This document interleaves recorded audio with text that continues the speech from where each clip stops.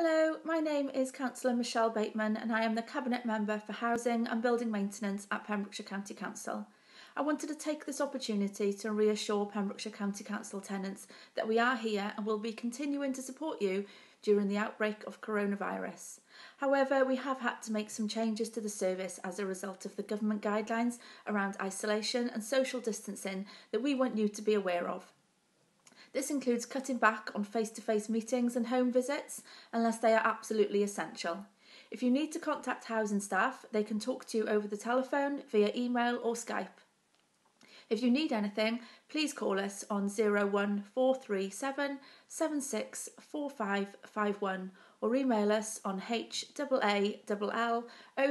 at pembrokeshire.gov.uk.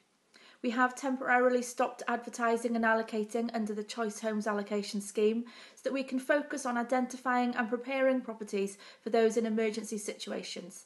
This includes the suspension of mutual exchanges and transfers. Customers can still apply to join the Choice Homes at Pembrokeshire Housing Scheme, but there may be a delay in processing as we prioritise other areas of the service. While we will be following the government guidelines and not taking any court action against tenants for the next three months, I would like to stress how important it is that you continue to pay your rent where you are able to do so.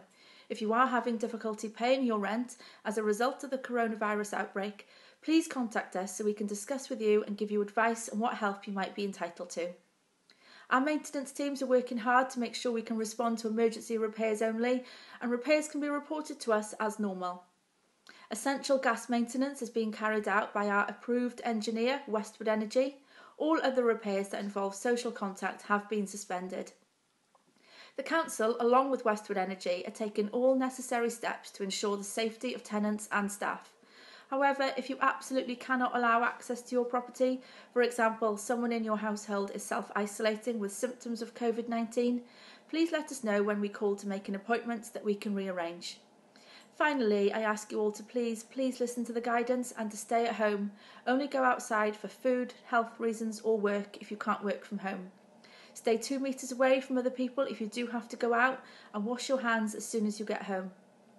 If you need help to get essential items, a community hub has been set up to ensure that you can access what you need during this difficult time. You can contact them on 01437 776301. So, everyone, please stay safe, please stay at home, protect the NHS, and save lives. Thank you.